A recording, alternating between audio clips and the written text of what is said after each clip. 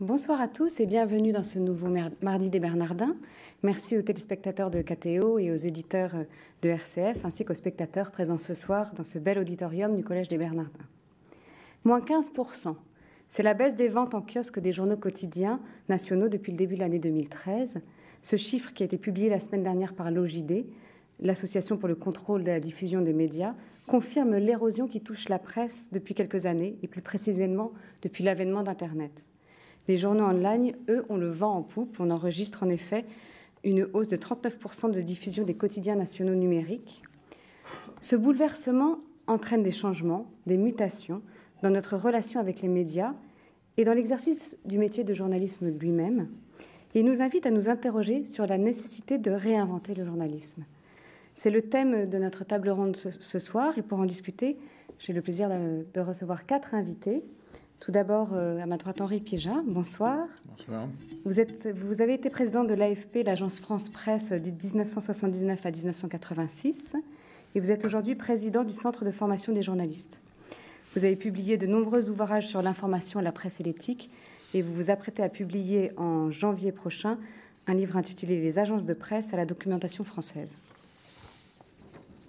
À vos côtés, Alexis Lévrier, bonsoir. Bonsoir. Vous êtes maître de conférence en littérature française du XVIIIe siècle à l'université Reims-Champagne-Ardenne. Tout à fait. Et vous avez co-dirigé avec Adeline euh, Vrona pardon, un ouvrage intitulé Matière et esprit du journal, du Mercure galant à Twitter, publié en 2013 aux presses universitaires de Paris et de Sorbonne dans la collection Histoire de l'imprimé. Adeline Vrona, bonsoir. bonsoir. Nous, venons donc de vous citer euh, dans votre euh, dans cet ouvrage co-dirigé euh, avec Alexis Lévrier. Vous êtes également professeur des universités au CELSA, où vous êtes responsable de la formation en journalisme. Vous êtes ancien élève de l'École nationale supérieure, agrégé de lettres modernes et spécialiste des relations entre littérature et journalisme du 19e siècle au 20e siècle. À vos côtés, Jean Quatremer, bonsoir. Bonsoir. Vous êtes journaliste français spécialisé dans les questions européennes. Vous travaillez depuis 1904 pour le quotidien Libération. 1904 1984. Je sais que j'ai pris un coup de vieux récemment, mais quand même. 1984 pour le quotidien Libération. Et par ailleurs, vous tenez un blog, Les coulisses de Bruxelles. Et vous avez publié en mars 2002 Sexe, mensonges et médias aux éditions Plomb. Alexis Lévrier, ma première question va aller vers vous. Je voudrais savoir quels sont les éléments déclencheurs de cette crise qu'on peut constater aujourd'hui. Et est-ce que la presse a déjà vécu une période similaire? C'est difficile de vous répondre brièvement à une question si vaste. Euh, je pense qu'il y a un basculement euh, numérique, que tout le monde euh, en a conscience. je pense que pour ce qui est de la France, s'ajoute à cela une crise plus ancienne euh, ça fait longtemps, ça fait au moins plusieurs décennies que les, ventes euh, stagnent, voire reculent. Et je pense, euh, on aura peut-être l'occasion d'en reparler ce soir, qu'il y a aussi une suspicion, une suspicion plus ancienne en France à l'égard des médias, notamment à l'égard des médias institutionnels, des journaux officiels, disons, qui fait que la, presse française a toujours été finalement dans une position de relative fragilité économique, surtout si on la compare au journalisme d'autres euh, grands pays, notamment aux pays anglo-saxons, mais même à l'Allemagne. Hmm. Oui, on reparlera de, ces fragilités de la presse française, mais ce qui aujourd'hui euh, euh, engendre le déclin du papier, est-ce que c'est en grande partie Internet? C'est cet avènement d'Internet qui va remettre en question le papier Je, pense, oui, que pour, euh, pour ce qui est de la, presse quotidienne nationale, euh, au moins, euh, va y avoir un basculement vers le, vers le numérique, mais qui n'est pas, qu'on va certainement essayer ce soir de, de dédramatiser. Il pas, ça, n'est pas la fin du monde, ça, n'est même pas la fin d'un monde, et les, les journaux papier survivront euh, sous une forme ou, sous une autre. Je pense que pour ce qui est de la presse quotidienne, euh, on va assister, on va continuer à assister à une baisse des ventes, et certainement, surtout avec l'avènement des tablettes, des smartphones, on va basculer vers d'autres euh, modes de lecture de la presse, mais ça n'est pas si grave. La crise est une occasion de se réinterroger? Je pense, oui sur le métier et sur, euh, notre relation aux médias Je le pense, oui, mais euh, ces pratiques vont changer, mais elles ont déjà changé au cours de l'histoire. Euh, le métier de journaliste a toujours su se réinventer, et je pense qu'il faut se garder de tout discours décliniste ou tout discours catastrophiste sur les, mutations que nous connaissons en ce moment. Mmh. Henri Pija, est-ce qu'on peut quand même, on en a déjà entendu parler plusieurs fois, de façon plus ou moins alarmiste, est-ce qu'on peut envisager la disparition de la presse papier? Non, je, ne crois pas. la presse papier a déjà beaucoup changé depuis que nous la connaissons. Je voudrais souligner d'abord que c'est un phénomène relativement récent en termes historiques, n'est-ce pas La presse papier, c'est quoi? Telle que nous la voyons aujourd'hui ou telle qu'elle euh, termine une phase, ça fait un siècle et demi, euh, un siècle trois quarts. Donc c'est pas énorme en, termes historiques. Donc la presse papier demeurera, mais ce qui est certain, c'est que si le papier a constitué une étape extraordinairement intéressante. C'est beaucoup plus commode que la pierre, n'est-ce pas? On mhm. oublie que pendant longtemps, l'information, on la mettait sur des cailloux. Euh. bon, euh, c'est beaucoup, le papier est beaucoup plus commode. il y a d'autres supports. Euh, la presse papier survivra, mais certainement pas pour un public aussi large qu'aujourd'hui, puisqu'il y a d'autres supports, d'autres instruments qui permettent de, de porter l'information.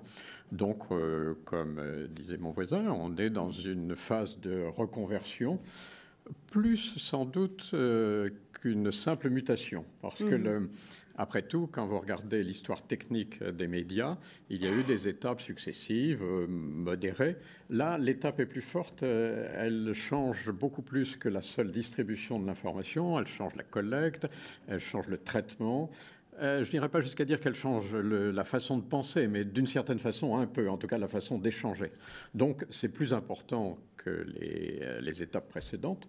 Mais voilà, euh, préparons-nous à la suivante. Mm. Ce qui est difficile, et ça c'est un fait nouveau, et sans doute le plus euh, caractéristique du moment présent, c'est que la mutation est beaucoup plus brutale que toutes celles qui l'ont précédée. Je vais parvenir à Gutenberg, mais entre l'invention de l'imprimerie et la grande presse, Marinoni au XIXe siècle, ça fait trois siècles. Mhm. Euh, entre l'apparition de l'offset ou de la, euh, disparition des linotypes, etc., il se passe 25 euh, à 30 ans. Là, je voudrais que l'on n'oublie jamais que tout ça commence entre 95 et 2000. C'est-à-dire c'est une opération qui fait moins de 20 ans. Et en moins de 20 ans, tout s'est transformé. Alors c'est ça qui est difficile, avec en plus des conséquences économiques graves. Parce que, je cite un seul chiffre, on y reviendra tout à l'heure, mais grosso modo, une information en ligne rapporte à l'éditeur dix fois moins mhm. qu'une euh, information sur papier. Mhm. Bien, euh, indépendamment du bénéfice euh, du propriétaire, pour entretenir une rédaction, ça a des conséquences. Mhm. Voilà. Et Jean Quatremer, parmi tous les bouleversements qu'Internet a engendrés, il y a ce bouleversement de la chaîne de l'information elle-même, qui au début partait du papier et aujourd'hui, quel est le constat? C'est ce que vous venez de dire à propos de la mutation profonde du métier. C'est-à-dire que euh, au départ, on se rassurait de la façon suivante, en disant que jamais un média n'avait chassé l'autre. Hein. C'est-à-dire que le, la, radio n'a pas chassé le papier, la télévision n'a pas chassé la radio. On disait, eh ben, Internet ne va pas chasser la radio, la télévision et le papier. Or, ce n'est pas exactement ce qui est en train de se passer. Mmh. D'abord, parce qu'effectivement, la révolution technologique permet d'avoir du papier sur des tablettes, donc de dématérialiser le papier. Donc ça, c'est un changement fondamental qui était pour le moins inattendu euh, au départ. Et petit à petit, les gens prennent l'habitude de passer sur des tablettes. Donc c'est peut-être ce qui va sauver les journaux. Simplement, ça sera un autre support. Mais ça modifie aussi profondément, euh, effectivement, comme, vous, comme le, dit votre, le sujet de votre question, la chaîne de l'information. C'est-à-dire que euh, jusqu'à présent, euh, il y avait cette idée que le journal devait être un objet global et traiter de l'ensemble de l'actualité. Euh, moi, je fais partie des gens qui, depuis très longtemps, considèrent que ça n'est pas le cas.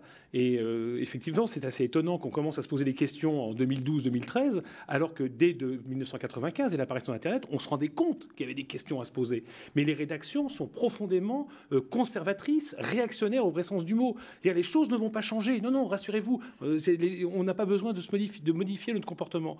Or, il faut modifier son comportement. Des journaux comme The Economist, par exemple, ont parfaitement compris ce qu'il fallait faire. Ça veut dire quoi, modifier le comportement? Ça veut dire qu'au au final, le papier est en bout de chaîne de l'information. Vous devez mettre dans le papier ce qu'on ne trouve pas ailleurs. C'est-à-dire ce que vous mettez d'abord sur Twitter, hein, le, ce site de microblogging. Donc ça, c'est l'information brute, immédiate, avec des liens, euh, de l'info, des, peut-être des micro-analyses. Hein, ça vous un nombre de caractères très 140 144, 140 exactement caractères. Et parfois, ça vous permet, souvent, ça permet d'ailleurs, ça, ça en dit autant que des analyses d'une page dans les journaux. Moi, je peux vous le dire, je suis un adepte fou de Twitter. Euh, et, et, je suis même très étonné aujourd'hui de constater que des journalistes ne sont pas sur Twitter. Donc ça, c'est le début d'information. Ensuite, il y a le site internet du journal et il y a les blogs des journalistes. Tous les journalistes aujourd'hui, en, 2013, devaient avoir leur blog et devraient alimenter le site. Or, ce n'est pas le cas. Et enfin, au dernier stade le papier, où là, vous mettez la valeur ajoutée absolue. Ce qu'on n'a vu ni à la télévision, ni entendu à la radio, ni vu sur les dépêches d'agence, etc. Ça doit, il devrait y avoir 15 tampons sur chaque papier pour dire, voilà, ça c'est quelque chose qu'on n'a vu nulle part. Et c'est quelque chose que vous allez payer 2 euros, c'est-à-dire c'est la mmh. plus-value absolue. Donc, si on avait fait, si on avait pris ce virage dès l'an 2000, euh, comme l'ont fait des, journaux anglo-saxons, comme vient de le faire par exemple l'annoncer euh, Lionel Barber, le directeur des rédactions du Financial Times, qui vient de faire une lettre magnifique où il explique parfaitement quelle est ce cette nouvelle euh, façon de, faire de l'information, nos journaux ne seraient pas en crise. Le problème, c'est que les journalistes ont refusé le changement et ils s'accrochent à une vision du siècle dernier de ce que devrait être la presse du 21e siècle. Je sens que je vais pas me faire des amis dans la profession, mais voilà, il faut, vous savez, il faut être toute révolution n'est pas n'est pas mauvaise et il faut savoir être soi-même un peu révolutionnaire et donc accepter de changer ses modes de production. Euh, ça veut dire, pour un journaliste, ça, peut être quelque chose d'assez, on va, on va en reparler, mais quelque chose d'assez euh, exigeant, c'est-à-dire que moi je tweete euh, dès le matin, je tweete avant de me coucher le soir, je tweete et je blogue en vacances. Mhm. Je, je n'arrête absolument jamais. il n'y a plus de limite à l'expression de votre métier. Il n'y a plus de limite à l'exercice de votre Il n'y a plus, voilà, il y a plus de mm. limite. Dire, la, vie privée s'est réduite avec Facebook. Euh, on, met, ses photos, on raconte sa vie sur Facebook. Et aujourd'hui, les gens pleurent et disent ah, j'ai plus de vie privée. Bah oui, mais vous, êtes volontaire. Hein. c'est vous qui mm-hmm. mettez vos propres photos de famille sur Facebook. Donc votre vie privée s'est réduite. Et ben, le journaliste, c'est pareil, grâce aux nouveaux moyens euh, de l'information, il doit être en activité non-stop. Moi, je ne crois plus du tout à cette idée qu'il y a des moments où on fait du journalisme et des moments où on est en famille, etc. Non, c'est un métier qui est, qui, est global, qui est total, comme les médias. Aline Vrona, est-ce que c'est ce que vous présentez, cette vision du métier que vous présentez euh, à vos élèves, aux futurs journalistes? Pas exactement. Et je n'en voudrais pas à Jean Quatremer. Après tout, c'est son rôle hein, de jeter des pavés dans la mare. C'est ce qu'on attend de vous là ce soir, je pense. Euh, bien sûr, euh, dans, une école de journalisme, on se tient aux aguets face à toutes ces mutations. Mais je pense que le rôle d'une formation, c'est aussi de faire la part entre le, le nouveau qui tient un support et le fondamental qui reste le journalisme en soi.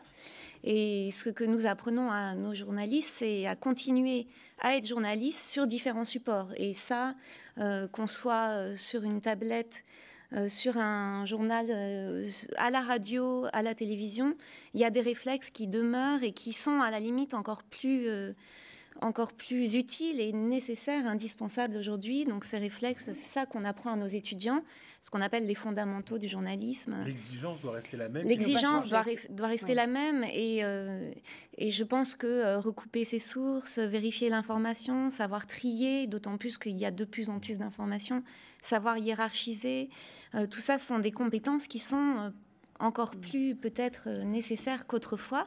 J'ajouterais en réponse à Jean Quatremer que, que bien sûr, euh, votre activité sur, euh, sur Twitter, qui est permanente, est une activité qui a une temporalité, qui a des méthodes nouvelles.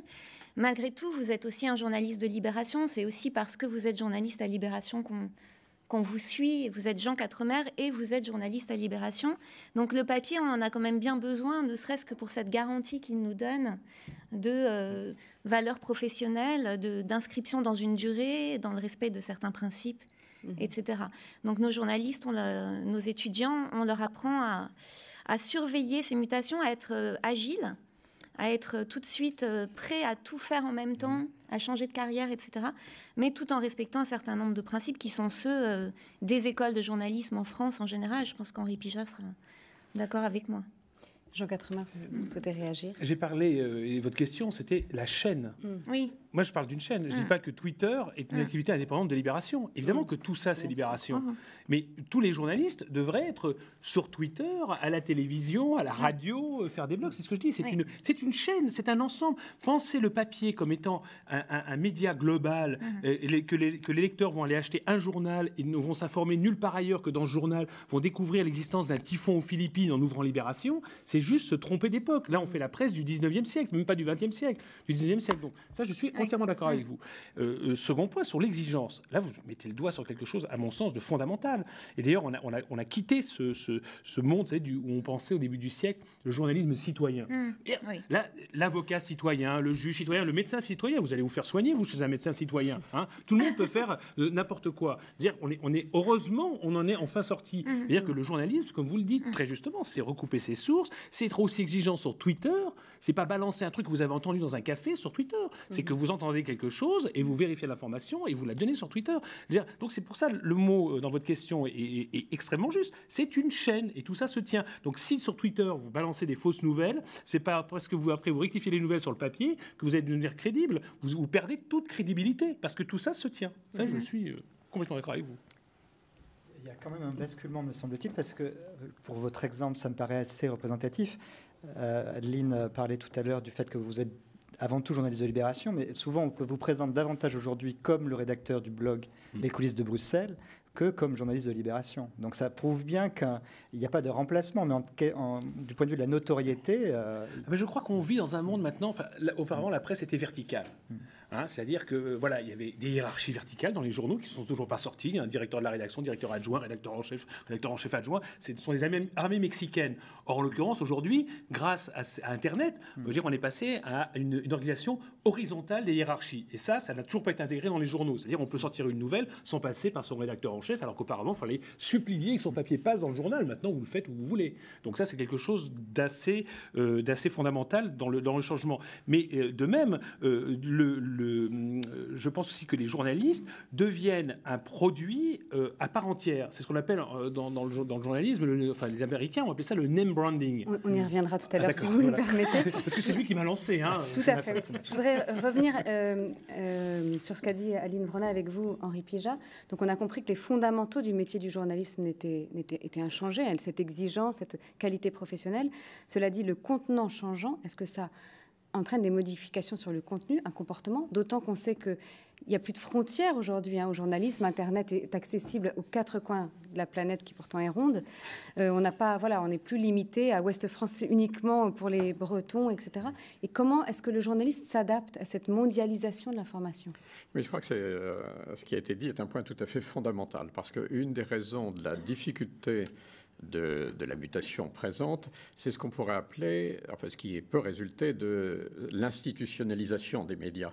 Les médias, on a dit par, par, euh, exemple, des, journaux, on a dit parfois, il y a une trentaine d'années ou 20 ans, on disait Ah, les journaux sont devenus des, usines industrielles. Et le fait est qu'il y avait une imprimerie, etc., ce qui n'était absolument pas obligatoire. Rien n'a jamais commandé d'imprimer le journal sous la même étiquette euh, sociale, si vous voulez, ou entrepreneuriale que la rédaction. Mais c'est une tradition partout dans le monde.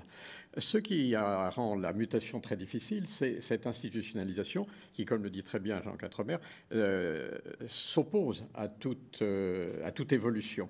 Et ce qui est formidable dans la situation présente, et en même temps très difficile, c'est qu'il faut, si je me raisonne par rapport aux écoles, mais j'ai toujours un réflexe d'agencier, c'est de donner aux journalistes à la fois la conscience de la permanence de son devoir, parce que la fameuse valeur ajoutée qu'on lui demande d'apporter et qui va le distinguer du journaliste citoyen, c'est-à-dire du témoin au coin de la rue, ben, c'est justement l'application d'un certain nombre de règles, etc. Mais on lui demande aussi d'être créatif. Et ça, je trouve que c'est formidable. On revient, toute proportion gardée, à Camille Desmoulins. Je voudrais rappeler que Camille Desmoulins concevait son journal, elle l'écrivait, l'imprimait sur une presse à plat euh, et allait grimper sur une chaise dans les jardins du Palais Royal pour le vendre. Ça, avec les 35 heures, c'est plus possible. c'est plus possible. Voilà, mais comme vous avez dit qu'il n'y a plus de limite horaire, euh, on pourrait le... pour moi, mais je suis un horrible libéral. Et alors, je vais vous donner un exemple très concret. Au centre de formation des journalistes, nous avons mis en... On vient d'ouvrir ces dernières semaines, c'est relativement classique maintenant dans tous les journaux, ce qu'on appelle une salle de rédaction électronique, c'est-à-dire un lieu dans lequel tous les outils sont disponibles très facilement. On peut faire immédiatement n'importe qui de l'écrit, etc. Et ce qui est tout à fait intéressant, c'est de voir que la façon dont les apprentis journalistes utilisent cet outil est tout à fait différente de celle qu'ils, des réflexes qu'ils avaient dans le passé. Dans le passé, ils se disaient je vais me comporter en journaliste de presse écrite, en journaliste de radio, en journaliste d'image, etc. Là, ils inventent des choses. Mhm. C'est-à-dire que tout d'un coup, ils se disent ah mais je pourrais appeler telle image. Ils sont en train de rédiger un papier, n'est-ce pas, pour un, par hypothèse un hebdo euh, théorique. Et ils se disent ah mais euh, il y a une séquence vidéo que j'ai vue l'autre jour. Ils peuvent l'appeler immédiatement. Alors ça, cet apprentissage de la créativité est quelque chose de tout à fait euh, riche original et qui nous ramène d'une certaine façon aux origines. C'est-à-dire que c'est le moyen de libérer le travail du journaliste d'un certain nombre de contraintes institutionnelles, mécaniques, financières d'ailleurs, mhm. économiques, parce que ça existe aussi. Alors la difficulté, c'est de concilier ça, c'est tout le, défi, le challenge, comme on dit maintenant en bon français, de l'apprentissage du journaliste aujourd'hui, c'est-à-dire comment concilier les principes fondamentaux, l'application d'un certain nombre de règles professionnelles et éthiques, disons-le, et puis cette créativité qui doit donner libre cours à l'imagination. Mhm. Alexis Lévrier, on n'a plus de limites euh, géographiques. On n'a plus de limites non plus de contraintes d'impression. Au début, on était contraint par le quotidien, le, mensuel, l'hebdomadaire. Aujourd'hui, ce n'est plus le cas. On est dans, une possibilité d'information continue. Alors, quels vont être les avantages de cette euh, information continue et les risques également? Alors déjà, on n'a plus de contraintes. Moi, je, constate une chose, c'est que quand il n'y a plus de contraintes, on la réinvente. Je pense qu'on a besoin de contraintes et le succès de Twitter en est la preuve. C'est-à-dire que 140 euh, signes, il n'y a rien de plus contraignant que ça.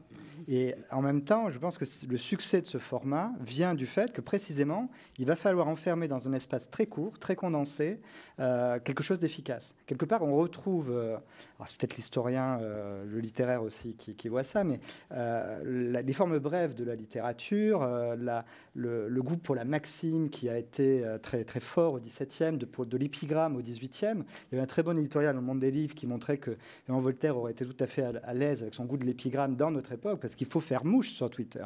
C'est la mmh. phrase qui. On faisait souvent de la maxime que c'était une forme méchante, qui était dure, parce qu'il fallait trouver la, la sentence qui va euh, clouer au pilori son adversaire euh, en un minimum de, signes. Avec Twitter, on a réinventé la contrainte. Mhm. Euh, après, il y a des risques dans le fait d'avoir cette possibilité pour chacun de s'exprimer. Il y a un, vrai risque, me semble-t-il, c'est que chacun peut se croire journaliste mhm. sans l'être. Je pense qu'on n'a plus que jamais besoin de journalistes qui ont une compétence spécifique et qui doivent être distingués euh, du euh, citoyen lambda qui peut tout d'un coup, parce qu'il a accès euh, à, Internet et qui peut commenter par exemple un, article, considérer qu'il est légal ou qu'il a les mêmes compétences. Donc il faudra maintenir, à mon avis, une hiérarchie. Mmh. Aline Vrona, justement, ce journaliste citoyen, est-ce que vous pensez qu'on peut tous être journaliste On peut tous aujourd'hui diffuser une information, en tout cas un événement. Qu'est-ce qui va faire la différence avec le journaliste? Je pense que Jean Quatremer l'a dit tout à l'heure, euh, tous journalistes, journalistes citoyens, c'est déjà un peu vieux en fait euh, comme discours. Je crois qu'on n'y croit plus vraiment. Euh, ce qui change effectivement, c'est que un plus grand nombre de personnes, potentiellement un nombre infini de personnes, peuvent diffuser des faits qui ne sont pas encore des informations, mais qui peuvent devenir des mmh informations. Et je moi, j'ai tendance à penser qu'une information, c'est euh, euh, quelque chose qui a forcément été traité, euh, vérifié, recoupé avant d'être certifié comme mmh. information. Alors ça, change malgré tout les, termes de, l'échange, je pense, entre celui qui est journaliste et, et son public, puisque le public est plus facilement lui-même transformé en source. Mmh. C'est ça qui change, c'est-à-dire il y a une, une multiplication des sources qui rend à la limite le travail du journaliste encore plus compliqué, puisqu'il doit encore plus vérifier ses sources, étant donné qu'il est dans cette relation avec le public. Euh, et je pense aussi qu'il y a des effets de loupe euh, qui, peuvent être un petit peu trompeurs, c'est-à-dire que, euh, par exemple, on parle du succès de Twitter, mais qu'est-ce qu'on en sait exactement du, du succès de Twitter? C'est-à-dire comment est-ce qu'on mesure euh, on a des followers, bien sûr, on a des retweets, etc. Il y a tout ce jargon. Mais est-ce que c'est comparable avec la diffusion même d'un quotidien qui ne va pas très bien euh, En termes d'audience et d'impact, euh, je crois qu'il y, a, y a, y a ici. Parce que c'est gratuit.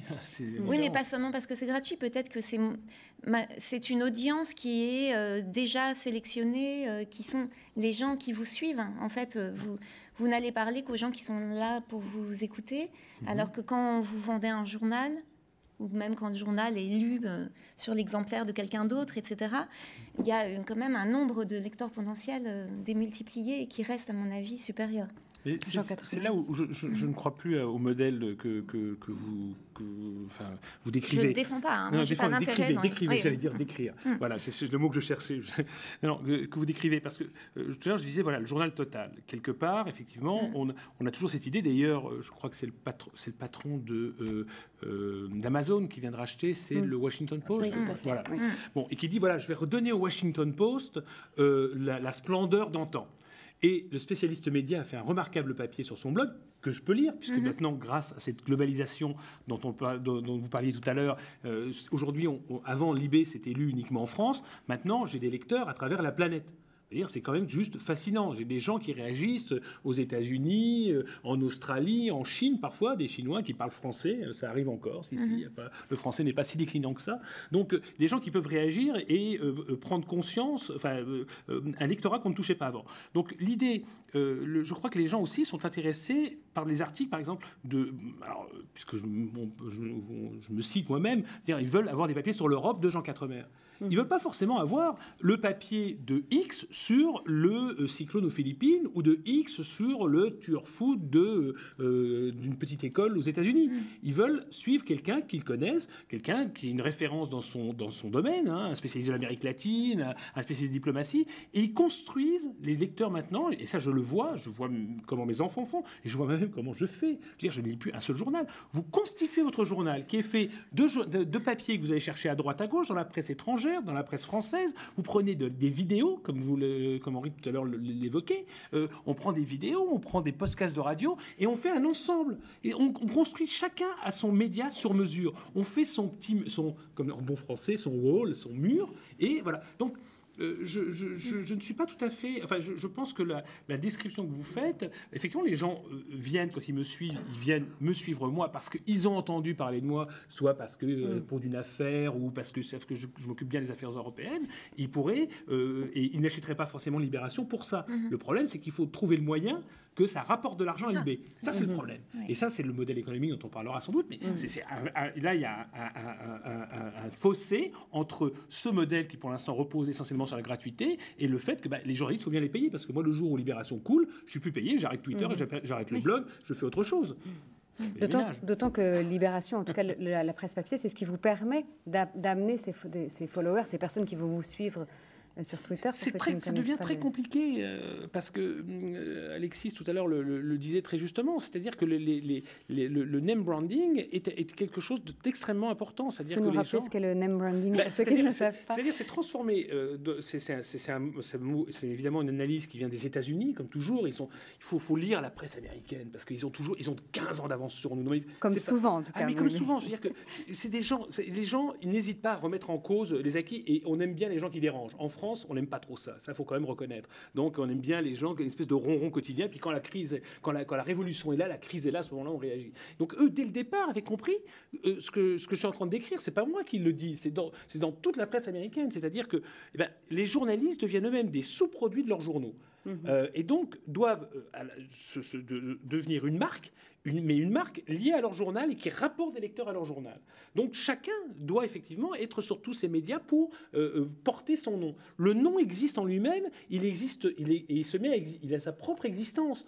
Euh, il y a des tas de lecteurs qui ont suivi, par exemple, les, trois chroniqueurs vedettes du, Washington Post sont partis, ou du New York Times, je vais peut-être te dire une bêtise, vous savez, qui sont partis pour fonder un site du New York Times. New York Times.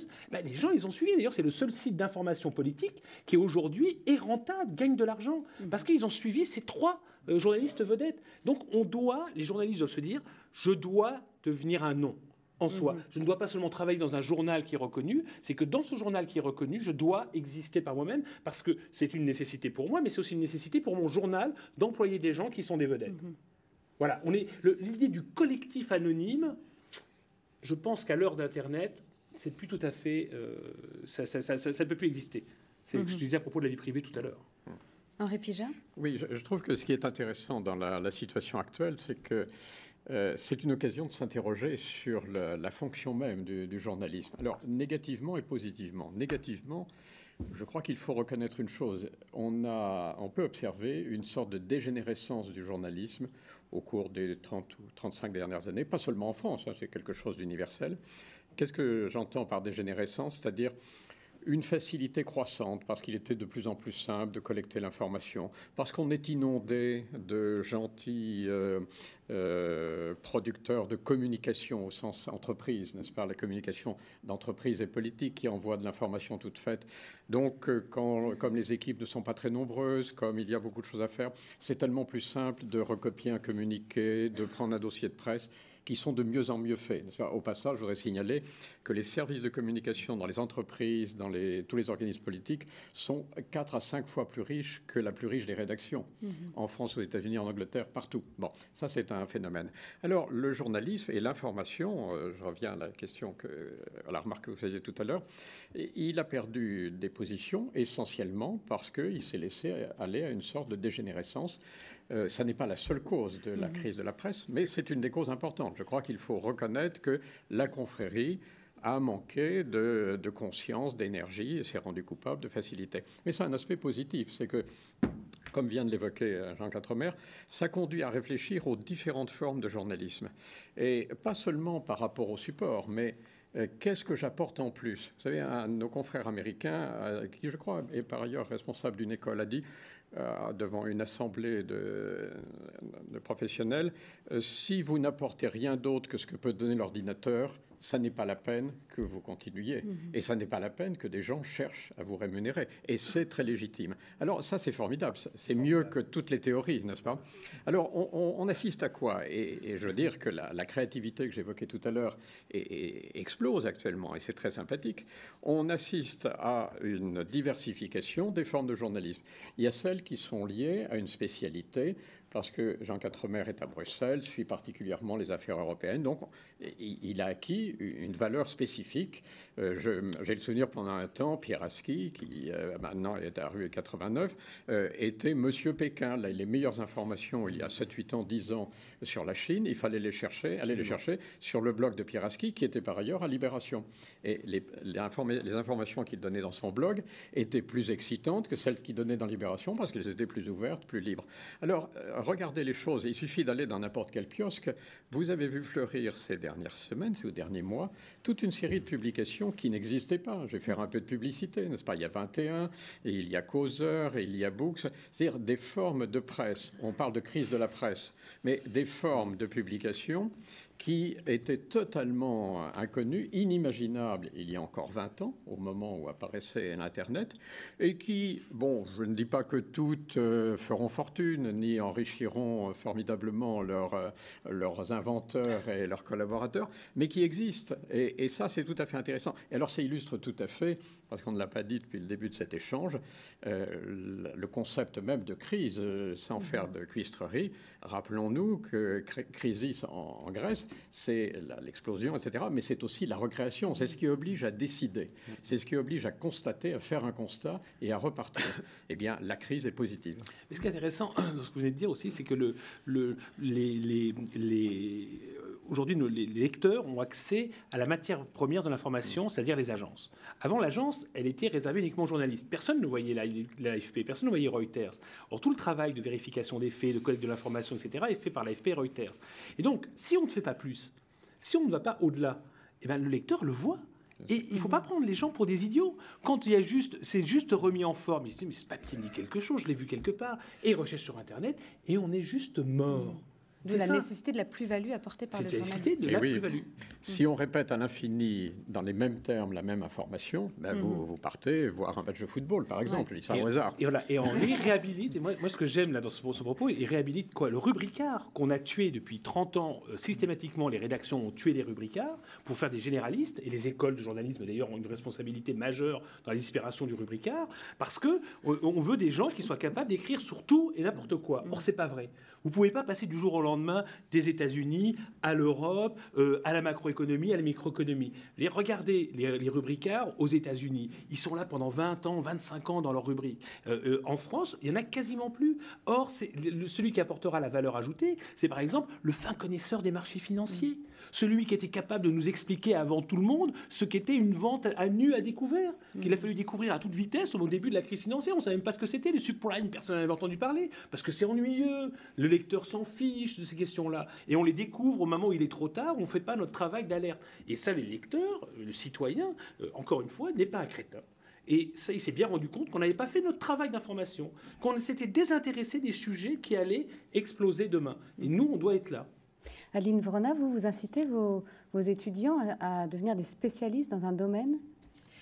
Euh, alors, on, a des étudiants très créatifs et spécialistes de toutes sortes de choses, donc on ne maîtrise pas complètement non plus tout leur euh, centre d'intérêt, c'est sûr. Merci. Voilà, heureusement, euh, certains, par exemple, sont passionnés de jeux vidéo et, et deviennent de très très bons professionnels du jeu vidéo. Certains sont fous de d'hippisme et deviennent rédacteurs en chef de journaux spécialisés dans l'équitation.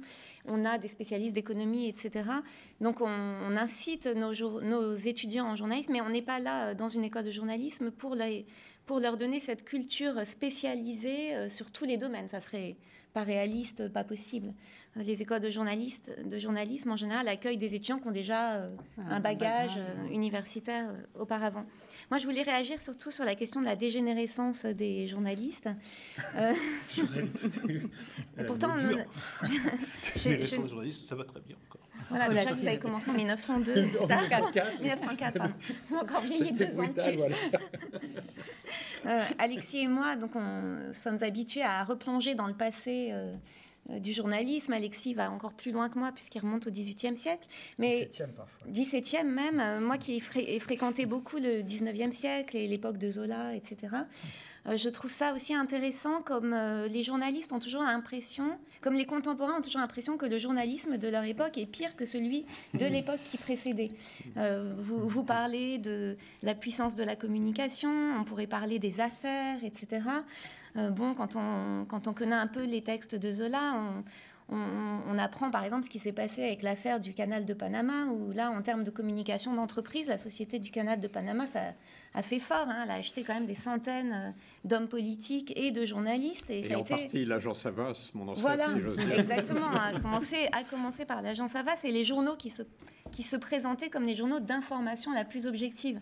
Donc ça, y a, là, il y a aussi quelque chose comme une sorte de, de revendication professionnelle paradoxale hein, des journalistes qui pensent qu'ils sont toujours en train de faire moins bien que ce qu'ils devraient faire ou, ou mmh. de ce qu'ils ont fait auparavant. C'est intéressant, c'est d'ailleurs un des objets de, notre ouvrage, sans vouloir faire de publicité là tout de suite. Mais si, si, faut profiter. Voilà, euh, voilà, matière et esprit du journal, c'est un, un, des éléments qu'on aborde dans ce journal, ça prouve qu'en fait, il y a une exigence démocratique très forte vis-à-vis du journalisme, qui est euh, un idéal très difficile, bien sûr, à, réaliser. Alors, on le réalise soit on fait des journaux parfaitement euh, moraux qui répondent à des objectifs euh, purs et démocratique, mais alors du coup c'est difficile de, maintenir une rentabilité économique.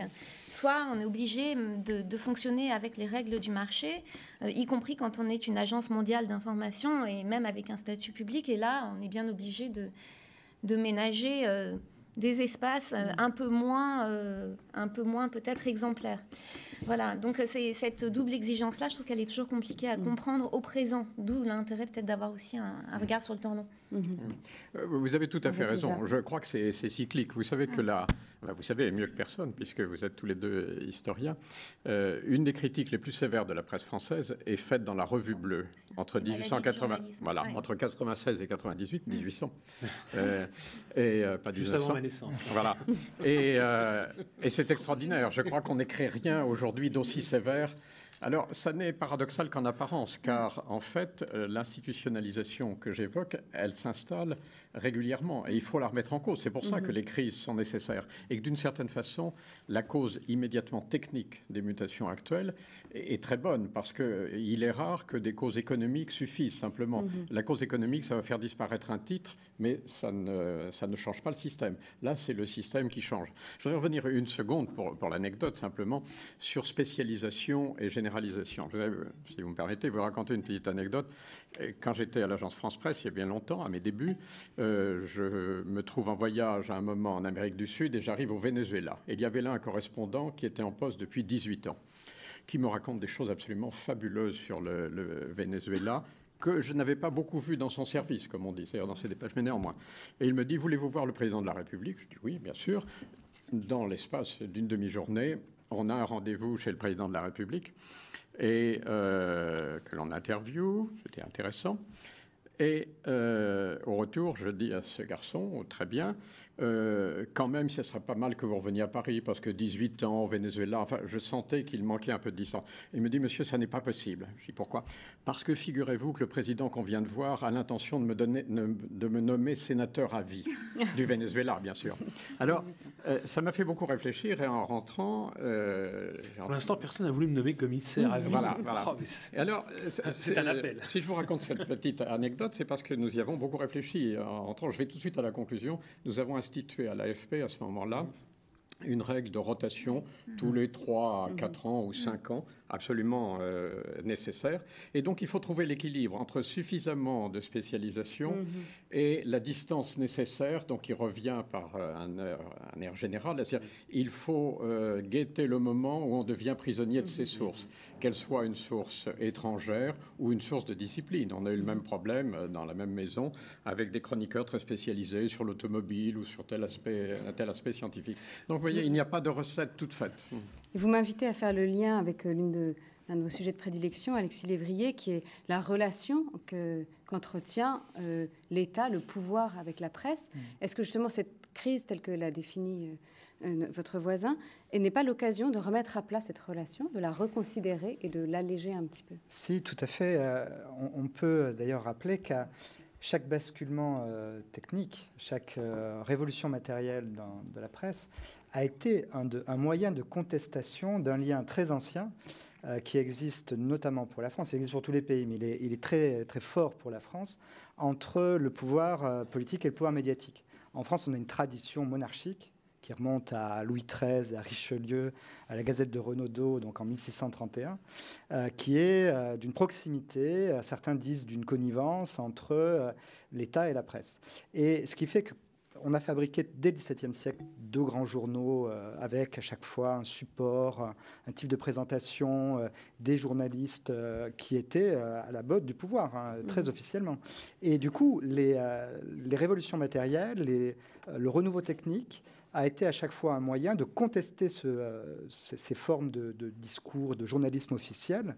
Et c'est souvent venu, c'est pour ça que moi je trouve que ce que fait euh, Jean à, Bruxelles et avec son blog peut rappeler ça, c'est-à-dire qu'on a eu une presse périphérique sous l'Ancien Régime avec de nouveaux supports. Alors il y avait les lardons, par exemple, c'était des journaux de forme oblongue euh, et euh, qui était très facile à diffuser sur le manteau. Donc, il paraissait en Hollande euh, le, plus souvent et il finissait toujours par arriver en France. Et c'était une parole d'une violence inouïe contre le pouvoir politique et notamment contre Louis XIV. C'était souvent des, réfugiés protestants qui étaient donc allés dans ces pays-là parce qu'ils avaient été persécutés et ils, avaient une haine très profonde pour Louis XIV, et donc il l'attaquait. Et on sait de sources sûres que Louis XIV lui-même, tout en interdisant ses journaux, euh, le plus célèbre d'entre eux s'appelait La Quintessence des Nouvelles. C'était la première grande journaliste femme qui s'appelait Madame Dunoyer.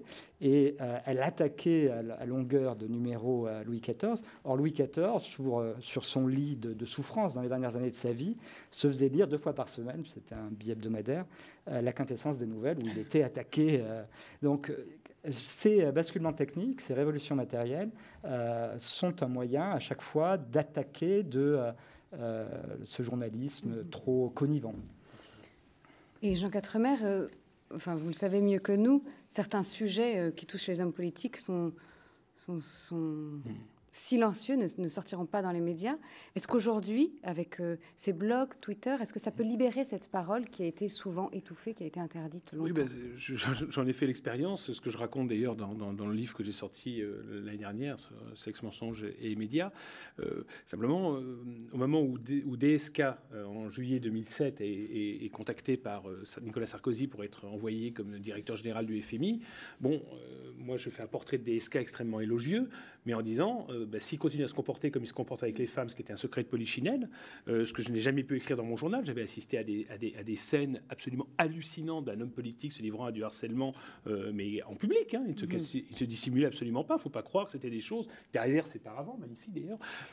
mais c'était, c'était quelque chose de visible que tout journaliste qui avait suivi DSK pendant une semaine pouvait constater. Et donc, je, dis, s'il va. En France, tout le monde s'en fiche. Hein, on a le droit de pincer les fesses de sa secrétaire, manifestement dans ce pays. Bon, aux États-Unis, ça passera pas. Donc s'il se comporte comme ça, il va, il va, sauter, euh, au sens figuré du terme. Euh, donc euh, il va avoir des problèmes. Et j'écris ça sur mon blog. Et c'est vrai que sans consulter euh, ma rédaction euh, centrale. Qu'est-ce que j'avais pas fait là? J'avais franchi la ligne rouge. Toute la profession s'est abattue sur moi en expliquant que là, j'avais pas à parler de ça, que c'était sa vie privée. Je dis non, c'est pas la vie privée, c'est un, un, élément d'analyse que tout le monde connaît. Moi-même, j'avais, avant évidemment de publier l'information, qu'est-ce que j'ai fait? J'ai téléphoné à des personnes que je savais qui mm. avaient été victimes de harcèlement, en leur demandant est-ce que vous vous engagez à venir témoigner si j'ai un procès en diffamation? D'ailleurs, je n'ai jamais eu de procès en diffamation, je le signale. Et un an plus tard, euh, enfin six mois plus tard, il se trouve que quelqu'un euh, au FMI euh, et une, autre source à la Banque mondiale m'avertissent que bah, Dominique Chancel a un problème de harcèlement sexuel avec une, avec une, une jeune économiste hongroise, un Piros Kanagi. Et donc, moi, j'avais l'ensemble du scoop en avril 2008 et ma, ma rédaction centrale s'est opposée euh, à ce que j'aille à Washington pour finir l'enquête, alors que moi je leur proposais euh, euh, d'amener, je dirais, les oreilles et la queue de Dominique Strauss-Kahn sur un plateau en disant c'est un truc pareil, c'est quand même extraordinaire. Donc bah non, pas question. Mais c'est d'abord c'est pas ton domaine, hein, tu es spécialiste de l'Europe. Pas, de, la vie sexuelle de Dominique Strauss-Kahn. Et puis, de toute façon, c'est sa vie privée. Je dis, mais non, c'est harcèlement sexuel. Là, on est dans le délit pénal. Mhm. Et finalement, bah, moi, j'ai dit à mes sources, écoutez, publiez dans un journal américain, ça seront les seuls qui vont oser le faire. Et c'est ce qui s'est passé en octobre 2008. Paf, c'est sorti dans le Wall Street Journal. Et là, j'ai fait un, un, papier sur mon blog, même pas dans mon journal. Ce que j'allais vous dire, en fait, ce blog vous permet, vous donne l'ouverture, la possibilité. on est, on est, on est, on est. Ce que vous ne ferez pas dans un journal. Auparavant, les rédactions en chef pouvaient bloquer une information. C'était clair et net. Je parlais de la verticalité de l'information. Aujourd'hui, l'information est horizontale. Donc, vous pouvez faire sortir ce que vous voulez. Alors, vous risquez de perdre votre boulot, ça je ne dis pas le contraire. Mais si vous êtes libre, indépendant, vous pouvez sortir l'information. Et, là, je, rebondis sur ce que tout à l'heure vous disiez, Henri, c'est que euh, moi, je, crois que l'indépendance est dans la tête. Moi, après 25 ans dans ce métier, je peux vous dire que je connais des journalistes qui naissent couchés et des journalistes qui mourront debout. Hein, et que c'est dans toutes les professions comme ça. Le problème, c'est que dans le journalisme, vous avez raison, il y a une, une exigence citoyenne. Et que les citoyens exigent qu'on soit debout en permanence. Or, ça n'est pas le cas. Il faut bien le constater. Donc moi je dis aux, journalistes, aux jeunes journalistes, c'est la chose que vous faites. Vous devez être un voyou. On dit en, en bon français un maverick, quelqu'un de totalement incontrôlable. Mais en France, et pourquoi la crise en France est particulièrement violente dans, la presse, c'est parce que cette tradition du journalisme qui, est un voyou, c'est-à-dire que moi, quand un homme politique me fait une confidence, je considère qu'un homme politique, un élu, hein, je parle, il ne fait pas de off, il fait du mmh. on. S'il me dit en, en, off le contraire de ce qu'il dit en on, je balance dans la mmh. seconde. Parce que c'est. Parce que vous êtes journaliste à plein temps. Ben oui, c'est un menteur. Et moi, les menteurs, on doit dénoncer. Le off, c'est fait peut-être pour donner quelques éléments supplémentaires, mais c'est pas fait pour mentir. Bon. Kahn avait utilisé sa vie familiale, notamment avec Anne Sinclair, à des fins euh, personnelles. Donc euh, il était logique de sortir cette information. Et la presse ne l'a pas fait pendant des années euh, parce que euh, bien les, il y a une trop grande proximité. Et alors, ce qui est extraordinaire, moi j'avais posé la question donc à Laurent Geoffrin, l'actuel patron du Nouvel Observateur, qui était à l'époque mon directeur de la rédaction. Et donc je l'ai appelé quand j'ai écrit ce livre pour raconter cette aventure. Parce que se prendre un. C'est la première fois que j'ai été censuré, il faut dire, appeler des choses comme ça dans, dans, dans, mon histoire. Parce que sur l'Europe, on considère que vous pouvez à peu près tout faire. Tout le monde s'en fout de l'Europe. Donc moi, personne ne m'a jamais censuré sur l'Europe. Donc voilà, c'est pas grave l'Europe, vas-y. Mais DSK, là, je toussais vraiment euh, à l'os du pouvoir.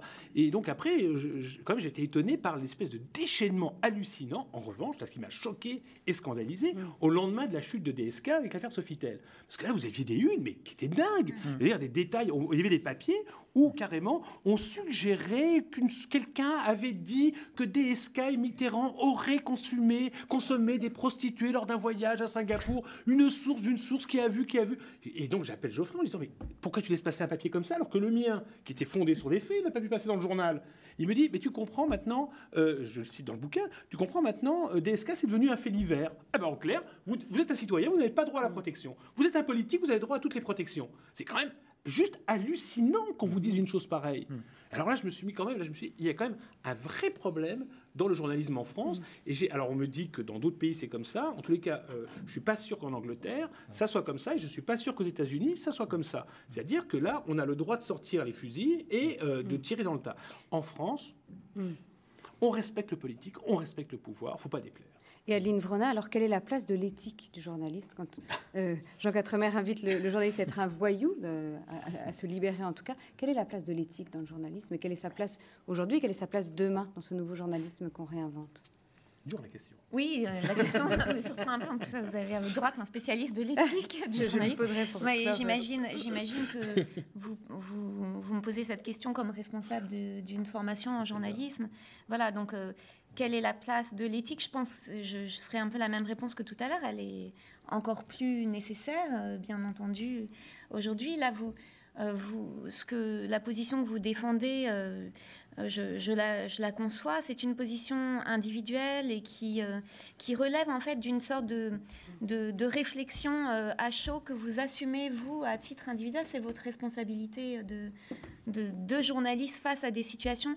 quand on s'occupe d'une formation en journalisme, on doit donner à, nos étudiants une sorte de colonne vertébrale. Face grâce à laquelle ils vont réagir le plus justement possible face aux différentes situations. Euh, pour le cas Strauss-Kahn, moi, je ne me prononcerai pas. Ce qui est vrai, c'est qu'il y a une culture journalistique très différente en France vis-à-vis des hommes politiques et que on, va un peu vite, je trouve, de dire euh, ça c'est bien et, ils ont raison et ils sont moins dépendants du politique. Et en France, on est trop dépendant du politique. On n'a pas non plus forcément à envier tout ce qui se passe dans la culture anglo-saxonne avec euh, le dévoilement de, la vie privée des, des, hommes politiques. Je pense que c'est une culture différente. Bah, certains tabloïds, on n'a pas spécialement envie non plus de, lire ça en France. Il parce qu'il y a des tabloïds. Ce qui n'empêche pas d'ailleurs les hommes politiques de, mhm. soutenir, euh, de soutenir et d'avoir des relations très étroites avec les, les personnes qui possèdent ces groupes de, de tabloïds. On l'a vu mhm. très récemment en Angleterre et aux, et aux États-Unis. Donc, donc voilà, quelle est la place de l'éthique? Elle demeure encore plus importante puisque les réflexes doivent être pris plus vite, je pense. Mm. Plus vite et sur des sujets très variés, avec une attente de réaction immédiate en flux tendu du public qui est effectivement loin d'être bête, averti, de plus en plus expert en médias. Ils sentent quand on, quand on ment, les, lecteurs, les, auditeurs, les mm. téléspectateurs, ils sentent. Il y, a une sagesse quand même mm. collective qui, était, qui, moi, qui m'impressionne mm. à chaque fois. Là, vous n'avez pas dit toute la vérité. Il m'arrive parfois dans les papiers de ne pas dire toute la vérité, c'est-à-dire pas de mentir, mais de dire quelque chose que j'aborde pas, me dire oh, c'est trop compliqué. Et moi, sur le blog ou sur Twitter, je me fais reprendre immédiatement parce que vous avez euh, les 200 spécialistes qui savent parfaitement. Ils disent, Jean, vous n'avez pas été jusqu'au bout du raisonnement. Je, pense que ce soir, les téléspectateurs et, les auditeurs auront bien senti votre sincérité. On arrive déjà au terme de ce débat. Déjà. Je me permets de rappeler les deux livres écrits par euh, nos invités, Alexis Lévrier et Aline Vronca, Matière et esprit du journal, et Jean Quatremer, Sexe, mensonges et médias. Je vous remercie euh, tous les quatre, Henri Pijat, Alexis Lévrier, Aline Vronca, pardon, et Jean Quatremer. Qui n'est pas né en 1904, hein, je le rappelle. D'avoir euh, nourri cette discussion. La semaine prochaine, vous retrouverez Adrien Lecoeur pour un sujet de la philosophie politique des temps qui grognent. Bonsoir.